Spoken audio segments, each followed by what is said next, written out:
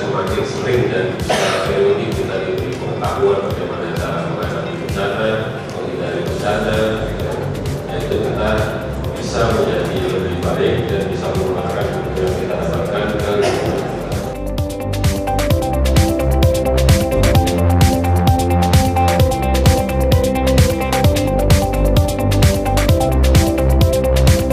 ya masukkan.